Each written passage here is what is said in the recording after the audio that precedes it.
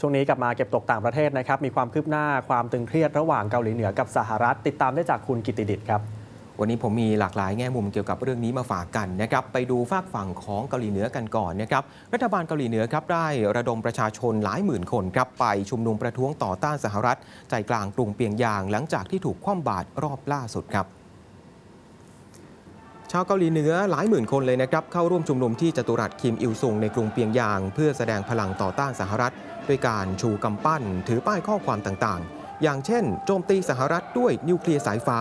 ผู้ที่แต่ต้องเราไม่มีทางหลีกหนีความตายไปได้ และการแก้แค้นด้วยการทำลายล้าง รวมทั้งร้องตะโกนต่อต้านมาตรการคว่ำบาตรทางเศรษฐกิจล่าสุดของสหประชาชาติด้วยครับ